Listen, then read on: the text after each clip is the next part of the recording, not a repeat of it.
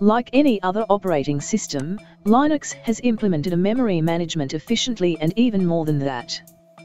But if any process is eating away your memory and you want to clear it, Linux provides a way to flush or clear memory cache. I have a small web server with a large enough load with an average visitor of 5000 users per day, with 1 GB of memory the server can handle it well.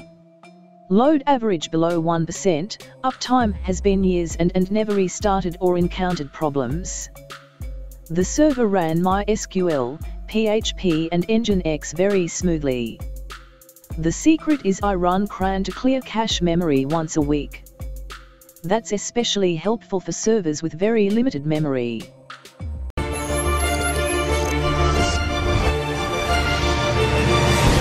to Newbie Computers channel.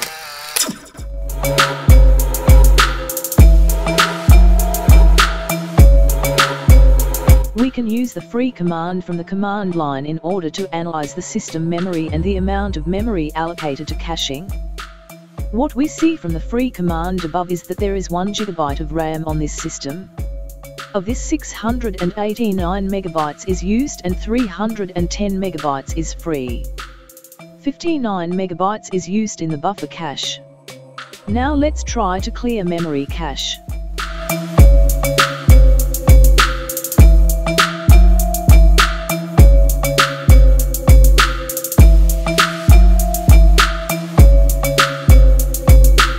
You can see now memory use drops to 256 MB and 743 MB is free. Buffers use drops to 1 MB. Note that command will clear the page cache only.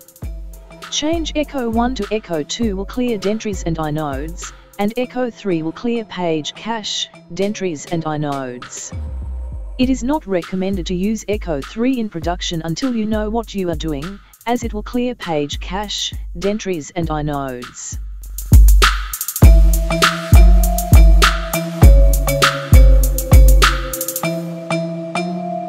I use Linux VM on my PC to create a crontab example because I don't want to change the server that is already running.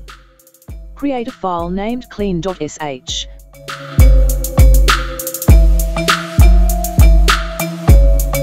Copy the command and add execute permission for the file.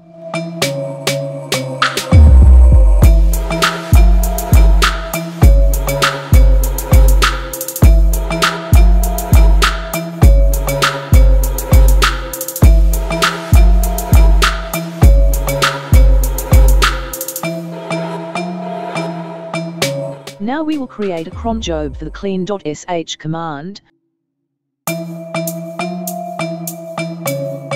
We will make it run at midnight on Sunday every week.